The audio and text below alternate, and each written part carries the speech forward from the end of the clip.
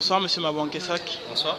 Donc aujourd'hui on vous retrouve donc à l'ambassade euh, à l'occasion de l'invitation qui vous a été faite par euh, l'ambassadeur Monsieur Mbela Mbela. Donc euh, vous pouvez nous dire comment vous avez été contacté et de quoi vous avez parlé aujourd'hui? Bon, nous avons, moi j'ai été contacté par Monsieur Issa, Oui. et par Monsieur Tiba, et que l'ambassadeur voulait rencontrer d'abord les footballeurs euh, camerounais, les sportifs, dire vrai. Et nous avons tenu une réunion euh, il y a cela vendredi dernier. Et il m'a demandé de rassembler avec André Canabier que le maximum de sportifs euh, euh, camerounais dans l'île de France.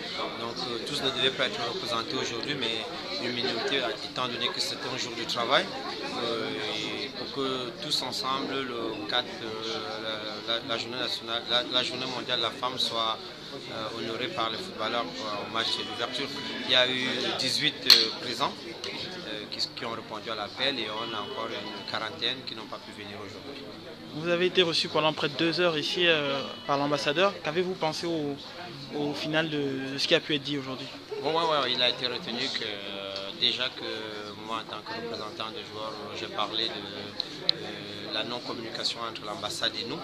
L'ambassadeur a souligné que dès, aujourd'hui, pas seulement pour l'événement, nous allons toujours être invités. Nous aussi, nous nous sommes engagés à participer à presque tout ce que euh, euh, l'ambassade et nous disons le Cameroun représenté ici, nous allons essayer de, de des forces, de travailler ensemble pour que cette jeunesse euh, camerounaise qui depuis 20 ans a été oubliée euh, par les différents successeurs, aujourd'hui les portes de l'ambassade nous sont ouvertes. C'est la première fois qu'on reçoit les footballeurs, les sportifs à l'ambassade du, du Cameroun, nous sommes très contents.